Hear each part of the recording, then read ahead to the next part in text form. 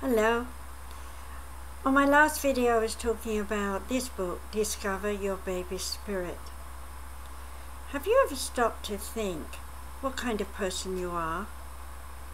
This book is about the five types of children that are on this planet right now. There's the star, the hero, the indigo, the crystal, and the liquid crystal child. This book is about how you were born with coding of one of these children, one here. And while you are growing up, you may be fitting in with all sorts of society, but you will be attracted to the same kind of people as you. People have the same kind of coding. So if you're a mother and you want to know what your children are like, this is probably the best book to get, even if I do say much so myself, because I don't know if anyone else has written about it. In this book, you'll find out all you need to know from before you ever get pregnant to what happens to you while you are pregnant to what happens to the spirit that is to be your baby coming into your body how you and your spirit of the baby and you blend, how during the pregnancy to talk to your new baby, what happens during the labor when your baby is being born, what happens to your baby after he or she is born, and then after that, how to talk to them and help them grow up to become wonderful individuals. All children born now are psychic. I'm going to put this book down. What I want you to realize is that we don't just turn up, okay? Everything is planned. You may say, well, I know my mother and I know my grandparents, and in some cases, I even know my great grandparents. What I'd like to open your mind up to is the fact that you actually know your ancestors' line all the way back in time. You, as a spirit individual, have met and known all these people in some form, whether it's in the spirit world or in some other life. And you have, throughout your spiritual life, hear that, spiritual life, Spend time on earth learning something about yourself with all sorts of people. Now, whether you believe in reincarnation or not, it doesn't really matter. What does matter is that we have to teach the children that are being born now how to live in this world of technology. So many children are being born with parents who are working busily all the time. So they're stuck in front of a TV or a computer and they're very isolated, they're very alone. Gone are the days when children could run in the street and play joyfully without fear of being run over or being kidnapped or abused. Today, the world is full of fear. Children are born into a world where they have to be super sensitive to their environment. These children are psychic. What does that mean? Their spirit consciousness is manifested in awareness of themselves all the way into their conscious mind. So as soon as they're able to talk, they're going to tell you that they see visions. They're going to tell you they can see the color of your aura. They're going to tell you that they know what heaven is like. They're going to tell you they can see dead spirits walking around your house. They're going to tell you if you're negative. They may even give you a message saying, Don't worry, mommy, daddy, it's going to be fine. Things are going to get better. They seem to have an amazing ability to know what's right to do and what's wrong. That doesn't mean that they're always behaving themselves. In fact, sometimes they're going to do things they shouldn't do, not because they're defiant, but because they want to prove to themselves that what they believe and what they think is their own truth, is real. So, learning the hard way is often something they do. Now, if you're the kind of parent that doesn't know anything about the paranormal, you don't know anything about being psychic, and you've suddenly got a child who's telling you all these things, you're going to think that maybe they're insane, they're abnormal, or perhaps they need medicine to change their mind. Please don't do that. Please take time to think about this child you have, a child that you really love and care about. Stop and ask yourself, where is the spirit of my child? What is it like inside my child? How does my child see me?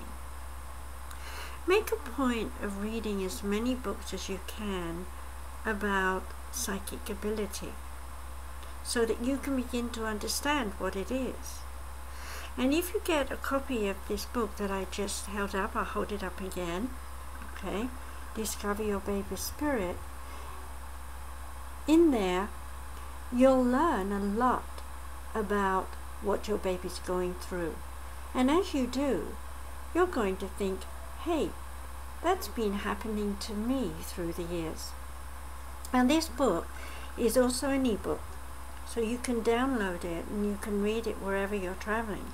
I think that's a very unique and handy thing of this modern age. We as children, that's my generation, didn't have too many people talking about ascension or psychic skills and abilities. So if we went to the library, we were lucky if we could find something like Edgar Cayce or some books on Buddhism and spiritualism and that kind of thing, Catholic, Catholic ideas and so on. But today, your children have a vast choice of all the different kinds of books that there are available for them to read. And of course, there's lots of material online. So I suggest that you spend time buying books that have lots of spiritual stories in them. Books that teach your child to have good levels of moral and ethic codes, and most importantly, encourages them to use their psyche in as many creative ways as possible. I know as parents you want your child to be the cleverest one in the class, you want them to get straight A's, you want them to go to the best universities and all the rest of it. But the truth is, your child has already predetermined the kinds of things they want to do. And over the years as they grow up, they'll show you that very clearly. So if your child is more into sports and art, don't try and make them become a scientist because all you'll do is set them up to stop doing that at a later age and lose out on the creative experiences. Encouraging a child to have sports activities is very important. It's the way we socialize, and children need to learn to socialize. So often we find today that children are set in corners, alone, separated. They can't get along with their friends. They don't know how to talk and chat. So they withdraw. They lock themselves in their bedrooms. They get on their computers. And that's their world. It's a shame. We weren't born to be isolated. We weren't born to be shut off from the rest of the world. Right now, as I speak to you. There are revolutions going on all over the world, especially in the Middle East. But even in London and England, people are rioting because they don't want things to be the way they've been. They want change. And that change means learning to integrate, listen to one another, and really follow the conversation. Do you know how many people don't really hear a whole conversation? Why? Because they hear the first sentence and they go off into their thoughts and make associations with their past and then lose track of the conversation and believe they've heard everything. So part of what we need to do now is to teach children to really listen I spent a lot of years in my life telling my children, listen to me. And now they're all adults and parents themselves, and I hear them saying to their children, listen to me. Yes, children get very excited. They want to try everything all at once. They want to do lots of things all at once. And yes, we have to teach them discipline. We have to make them organized. We have to help them to structure the world in a way that they can handle it. But we must allow them to express their freedom of spirit. And we must allow them to express their spirit consciousness in their psychic skills. So don't shut your child out when they say they see something that you can't see. Stop and say to them, What are you actually seeing? Describe it to me. And then when they do describe it to you, say, That's very interesting. I can't really see it, so do you want to tell me more about it? What else is there to say? Maybe while you're really listening, you'll get a message, something that you need to hear for you. Not only for your child, but for maybe other people as well listening. So these little wise minds, these little people have lots of spiritual wisdom and they're bringing this into this world. Yes, technology will grow and yes, the world will change. Many people are worried about 2012. I say to them, don't worry about what's going to happen next year. Worry about now. Think about today. Because upon today, you will develop tomorrow. And when tomorrow comes, you'll know what you want to do because you've enjoyed yesterday. So don't worry about your past. Don't get anxious about things that happened in the past and try and make them happen in the future. Live today. Teach your child to live today. Teach them to acknowledge that their creative psychic skills are there for a reason. Use them write books, tell stories, make videos, do whatever you want to do and develop your character and your personality. That's what they need. They need to feel confident. So I hope you'll listen to this and share this video with other mothers and fathers and if you're a grandma or a grandpa maybe you can send it to your children, your grandchildren and so on and help people around the world understand that we all have a purpose, we all have a destiny, and we all are coded. So, are you a hero? Are you the kind of child that wants to go and rescue everyone? Are you a star child that you think about the future and the kinds of things that we could do to improve our way of living and then compare it with the past so you can make sure we don't make mistakes? Or are you an indigo child that loves to be sensitive to everyone around you, tries to share all your creative skills and teach other people how to do it too?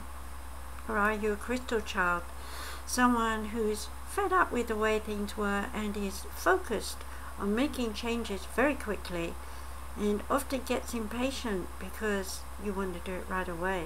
But ultimately, the crystal child will make the changes in this world.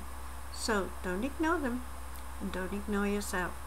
Do whatever you want to do. And if you're a liquid crystal child, then you are so, so active. You're clever at whatever you do because you're able to tap into the entire history of mankind. You can do anything you want. You're one of those clever people who just does things because you enjoy doing them. You could dance, you could sing, you can write a book, you can look in a microscope and see something that nobody else sees because you have that kind of ability that comes from your spirit self.